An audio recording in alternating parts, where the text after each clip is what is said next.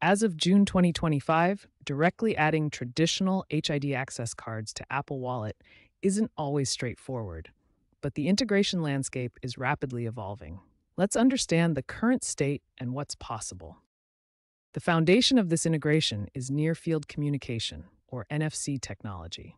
NFC allows contactless communication between your iPhone or Apple Watch and compatible access control readers. While Apple Wallet doesn't natively support all HID cards, solutions like HID Mobile Access are expanding the possibilities.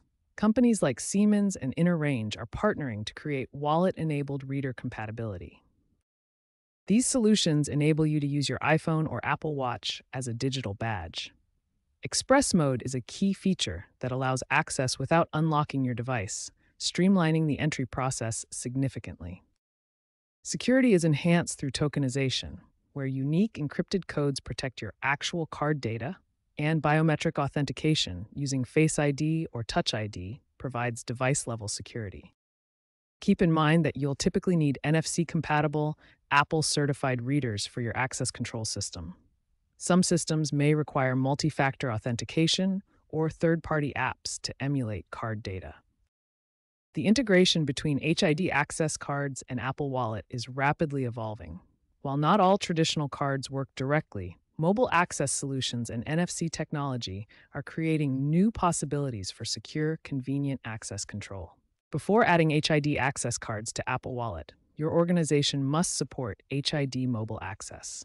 This is a requirement that needs to be in place first. First, download the HID mobile access app from the App Store. This app will manage your digital credentials and handle the integration with Apple Wallet. Your system administrator will issue you a mobile ID credential. This typically comes as either a QR code to scan or an activation code to enter manually. Open the HID Mobile Access app and follow the activation instructions. You'll either scan the QR code provided by your administrator or enter the activation code manually. Once your credential is activated, look for the Add to Apple Wallet button within the HID Mobile Access app. Tap this button to transfer your credential to Apple Wallet. Your HID credential will now appear in Apple Wallet alongside your other cards and passes. You can use it at compatible card readers by simply tapping your phone or Apple Watch. Remember to keep your HID Mobile Access app updated for the latest compatibility and security features. HID Global updates their compatible device list twice a year, so check their website regularly to ensure your device remains supported.